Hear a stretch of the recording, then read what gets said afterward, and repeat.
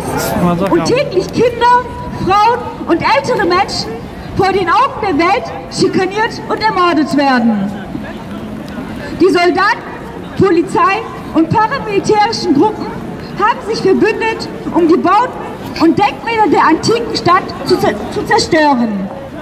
Der unter UNESCO Weltkulturerbe stehende Stadtteil Sulm wird durch die Geschosse der Panzer regelrecht bis zum Unverkennbaren zerstört.